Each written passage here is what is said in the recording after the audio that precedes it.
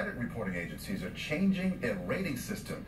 And the CBS News' Emily Smith reports they're about to start looking a lot deeper into your personal finances. To qualify for a mortgage to buy a home, it's always been about your credit score and whether or not you pay the minimum on your credit card bills and loans each month. But now millions of potential homebuyers' habits will be under a microscope, zeroing in on exactly how much you pay and more. The problem with this is consumers don't know about it. On time payments won't be good enough anymore. It's a new credit scoring system called Trended Credit Data, and it goes into effect June 25th. The first to do it will be Fannie Mae, one of the largest mortgage lenders in the nation. Financial expert Paul Oster says it's incredible how in depth this tracking system will go into your history. They're also going to start using utility data.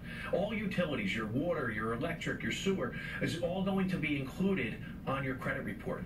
Oster says even your cell phone bill and a late payment to a company that doesn't even penalize you for it could now affect your interest rate. And our experts say if you think it's illegal for your utility company to share your payment information, think again. Oster showed us his own utility bill and says he has looked at many other similar large companies.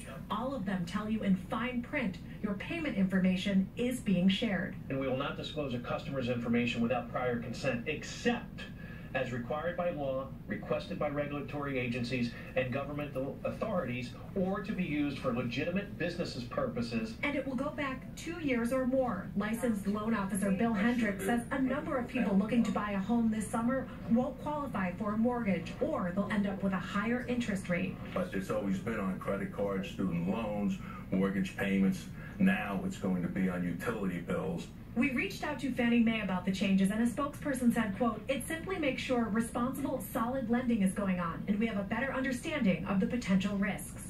If you're somebody who pays all of your bills in full and on time, including your cell phone bill, this will work to your advantage. In Eatontown, New Jersey, Emily Smith, CBS 2 News. The auto industry has been doing what it calls trended credit data for years, but Fannie Mae tells us it is the first to do it in the homebuyer industry.